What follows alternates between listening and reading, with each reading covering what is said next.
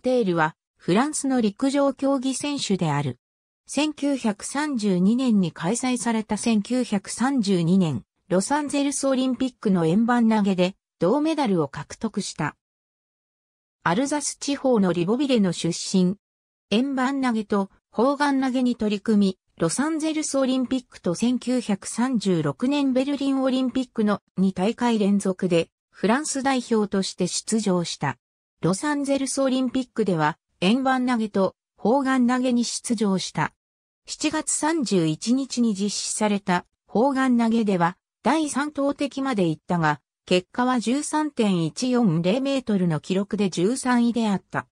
8月3日に実施された円盤投げでは47.85メートルの記録でアメリカ合衆国代表の2選手に続いて銅メダルを獲得した。4年後のベルリンオリンピックでは円盤投げのみに出場した。この種目は17の国から31人の選手が出場して8月5日に行われた。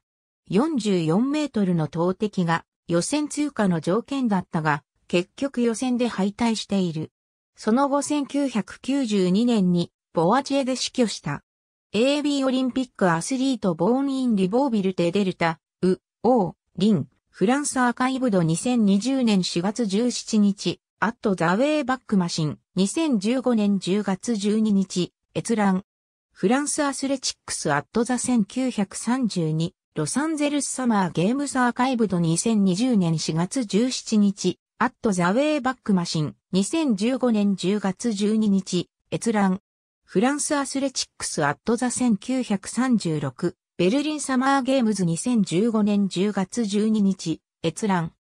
Athletics at the 1932 Los Angeles、Summer Games、Men's Shot Put Archived 2020年4月17日、 at the Wayback Machine、2015年10月12日、閲覧。